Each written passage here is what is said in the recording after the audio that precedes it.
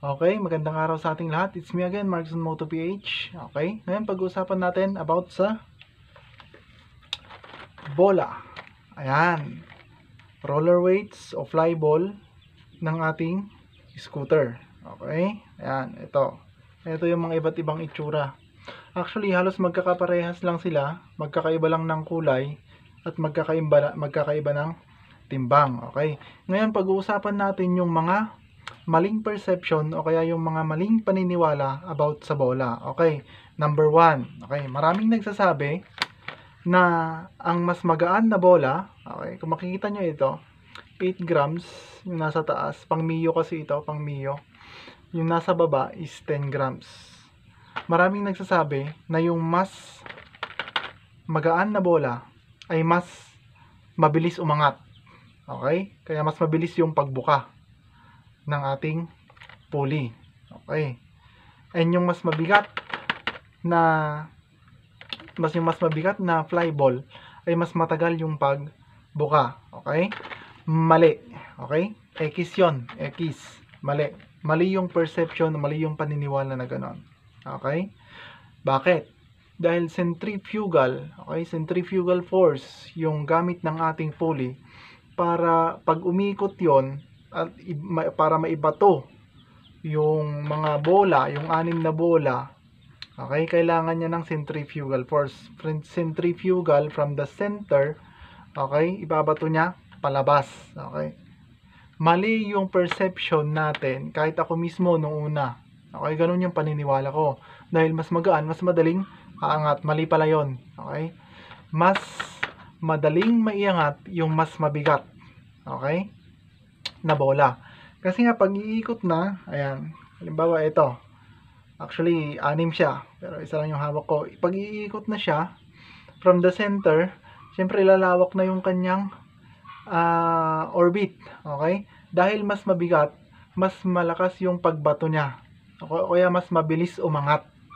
Unlike doon sa magaan na bola, kailangan mo ng higher RPM. Kailangan mong pigain. Okay? Para maiangat. Okay? Ayan. Isa pang paniniwala, okay? Sa ating fly ball. Okay? About sa mga nagkokombinasyon. Okay? Yung combination. Actually, meron tayong anim. Okay? Anim po yung nilalagay natin doon sa ating pulley. Okay? Ngayon, yung iba nagkokombinasyon sila. Okay? For example, yung motor mo is Honda Click. Ano? Honda Click ah 125. Ang stock kasi noon, ito, 15 grams yung isa. Ito, 15 grams yung isang ganito. Okay? Yung iba nagko-kombinasyon. Dahil daw, yung tatlo, okay, na mas mataas, okay, para daw sa top speed. At yung tatlo na mas magaan, okay, para sa acceleration. Mali.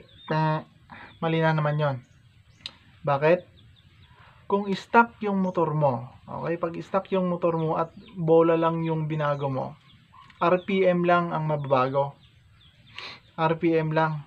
Yung top speed mo ganun pa rin. Hanggat hindi ka nagpapalit ng torque drive, nagpapalit ng pulley, center spring, clutch spring, hanggat hindi mo pinapalitan yun, hindi mababago yung top speed mo. Okay? Kasi nga yung iba dahil kombinasyon, yung tatlo daw para mas madaling umangat. Yung tatlo naman mas madaling ah, mas magaan. Okay? O kaya ah, mas mabilis yung acceleration. Ganun daw yung perception nila which is mali yun. Unang-una ulitin ko ulit, yung ating pulley is centrifugal force yung kanyang ah, pagbato. Okay? Yung pag-ikot niya, kailangan niyang ibato yung bola palabas, pa-exit para umangat. Kailangan niya ng centrifugal force. And yung mga bola, hindi po yan kalat hindi po yan ah, kalat-kalat na ibig sabihin mas nauuna yung tatlo na umaangat. Yung isa naman naiiwan. Hindi sabay-sabay lahat 'yan. Okay? Dahil centrifugal force tayo sabay-sabay. Yung pagbuka kasi ng ating pulley, okay? Sabay-sabay 'yan. Sabay-sabay. Walang walang naiiwan, walang ah, nasa taas, walang nasa baba. Sabay-sabay yan. Kaya lang, pag nagkombinasyon ka ng mas mababa na timbang at yung mas mataas na timbang, yung tatlo doon is yun yung mas mabilis mapudpod kasi sila yung mas nagtatrabaho. Okay? Sana maintindihan nyo. So, ayun, yung mga maling perception about sa ating roller weights, sa ating ah, bola, yung fly ball na tinatawag nila. Okay? Bakit tayo nagkokombinasyon? Kasi unang-una, para mahanap natin yung eksaktong ah, RPM na para sa atin. Kasi nga, yung ating bola, min-measure niyan is para makuha mo yung tamang timpla, depende sa rider, kung ano ba yung gusto niya. Yung pangbiritan, yung pangbiglaan, high RPM, low RPM. May mga nagmamaneho kasi na ang gusto niya, yung brum, arangkada agad. Okay?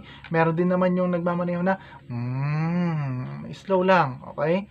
Tandaan natin na yung mababang bola, okay? Yung mababang bola, mababang bigat ng bola requires higher RPM. Dahil mababa, kailangan mo ng RPM. Okay?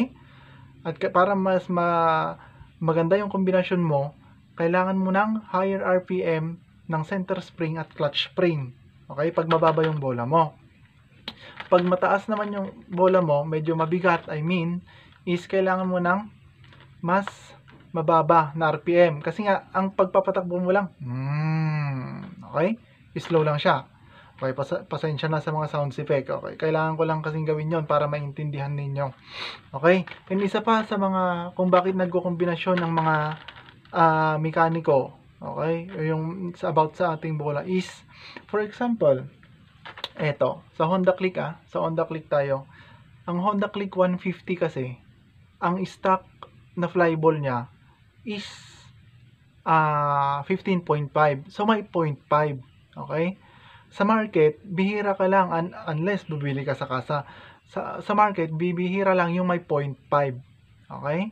Para makuha mo yung 0.5, o syempre, either gagamit ka ng tatlong 16 at tatlong 14 para makuha mo yung total weight. Kasi yung ah doon sa ating pulley kasi, yung total weight ang mini-measure doon. Okay? Yung total weight ng anim na nakalagay. 1, 2, 3, 4, 5, 6. Yung total weight, kay, yun yung kailangan mong computein.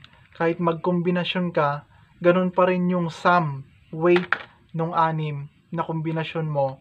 So, kaya maraming nagkokombinasyon. Okay? Dahil wala silang makuha or wala silang mahanap na exact ah, weight ng kanilang bola. Lalong-lalo na yung 0.5. Okay? Ganun yon Okay? So, ayun. Kung ang babaguhin mo lang is yung bola, okay? Konting-konti lang talaga ang magbabago sa motor mo.